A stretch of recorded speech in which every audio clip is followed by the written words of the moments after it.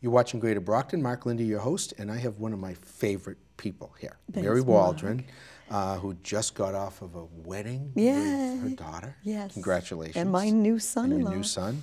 And looks like two really nice families Thank you. blended together. It is, Um, so. I hope she has great happiness, which looks like she's Uh, off to a great start. she most certainly is. Everybody has good health. Thank you. Um, you're doing something again to remember veterans during the holiday season Correct.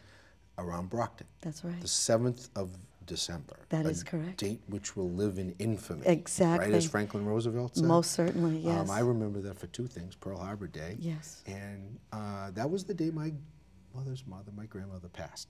So I had uh, St. Patrick's Day for my grandfather, and Pearl Harbor. Pearl Harbor Day, Day, and then yeah. Dad was 9 11. So I'll never forget the days that they passed. Jewish calendar, you move it around every year. That's It's correct, crazy. right? but the wreaths are stunning. I, I, I, I've joined you in the past Yes, over at. Melrose Cemetery. Yes. My wife has. Correct. Talk about it. What, are- what are you looking So, to do? so first of all, we call it Operation Wreaths for Veterans. And the whole operation piece, because it really is centered around um, our veterans, and, and it certainly is an, an operation. We have 1,500, over 1,500 wreaths that are placed on veterans' graves um, at Melrose Cemetery. Um, working with the, um, the Cemetery Commission and working with the Cemetery Department, um, and um, Mr. Carpenter has been awesome, and so is Laureen there. But again, it's remembering is remembering our veterans throughout the whole year. And so this was just a little way that we figured that bringing the community again, it's a community project, not just one person, not just five. It really is a community project coming together and to pay respect to our veterans. And so it just so happens to be on Pearl Harbor Day. So as you know, the Just Checking In Fund is the sponsor of this. Um, it does have a, a, a pretty penny cost, but we keep that in mind when we raise funds. And um, all that we do is we look for volunteers to come and show up to Melrose Cemetery right off of Pearl Street. And, um, and you go to the middle area, which is the, the, the white stone veterans right in the center. Right. And so we just ask people to come. We start off with the Pledge of Allegiance, and we then ask for those um, volunteers to come and then place wreaths on each of the veterans. So it's not a race. It's not, you know, certainly with the weather, it all depends, but it's taking the time to solemnly place a wreath on a veteran's grave. Um, in the past, because we do place it on all veterans' graves, whether you are of Jewish faith or not, um, because the, the symbol of a wreath is a circle. And so we are thinking of them with hope and we are thinking them internally. And so while um, it is important, you know, that we remember everybody. So we don't include the flag, but we, we do have a wreath. Um, this is just a sample of many of the wreaths that we purchase. Um, they get delivered the night before, and then we ask for volunteers to come on Friday to um, disperse the, um, the wreaths. and it's rain or snow or shine. It is, it is. because limited time to do it. It is limited It's around the holidays, and you know what? I, I, I love wreaths and I love Christmas trees. I, my, my, my wife said, "What was the chance of me marrying a guy who's Jewish that was going to like it?" I get it at Gary's Farm, That's perfect. and they deliver it to me. Right. They cut it to to fit.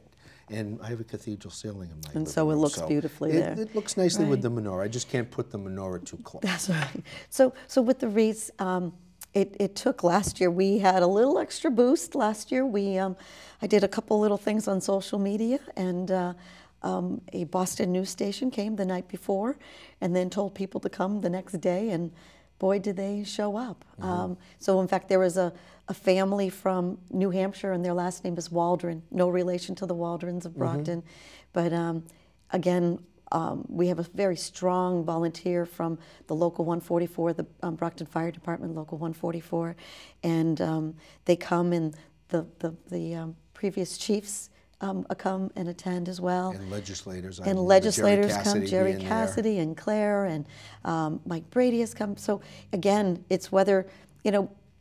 I think if there was a chance, there is a there was another um, national event that's called Wreaths Across America, Right. and um, we've often been asked, like, why don't we do it with them? Well, first of all, you have to use their vendor, and number two, you have to pick the same day. And for me, that's a little difficult. I had, you know, not only this year, but it's when I can get my volunteers together. Right. Um, and um, it eventually I, there was been a hope to do it like on a Saturday so school children can do it as well. Um, it's just a matter of just making it all work. Well, you start looking at all the Saturdays in December with the Jingle Bell Run. Correct. And what date do you pick? And It's as, as you get closer to the holidays, it gets a little harder. It does get harder, and for the last, I think this is our third year or fourth year, I forget which year it is, um, but we always do it on, we've been doing it on that Friday. So I know for a fact, like the um, Brockton Area Workforce Investment Board, now called MassHire, um, they use as part of their holiday give back, they'll take their um, time and they'll volunteer their time. So we encourage businesses and neighborhood associations and um, whomever wants to do it.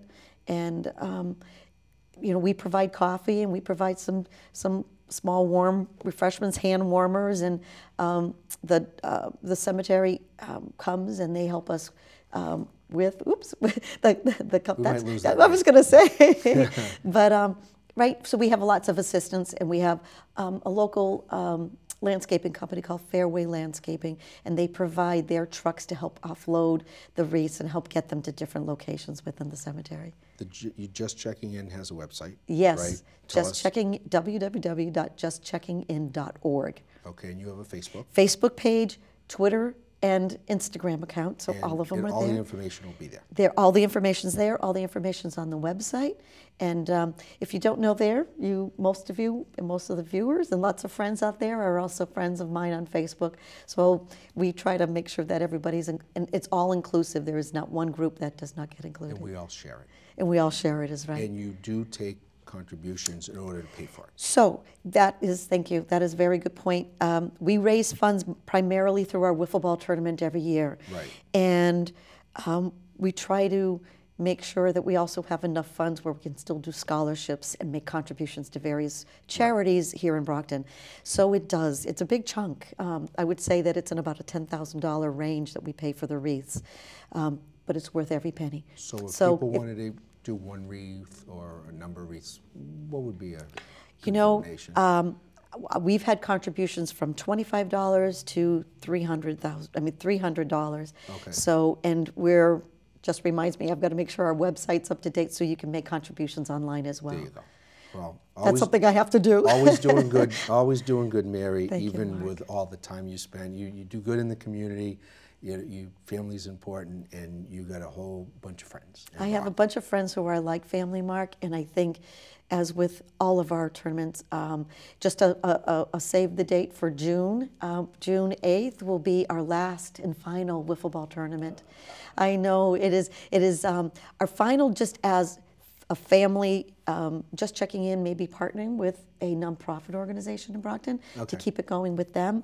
But from the perspective of family, and it's been, um, it'll be our eighth year, and it's a lot of work. Um, and our hope is that we're ready to. Um, so that's a save the date. Well, we'll be there, and we'll also we brought the next generation that's correct. as well. That's correct. In the pouring rain. That I remember that one, and then it cleared up. And it's going to clear up. John so, was smiling so on us, right? He's always smiling down on us, and I feel the fact that the just checking in, both family and friends who knew him and loved him, are always the, and the reason we're coming together. And we know you and love you. So Thank thanks for doing everything Thanks, you do, Mark. Mary.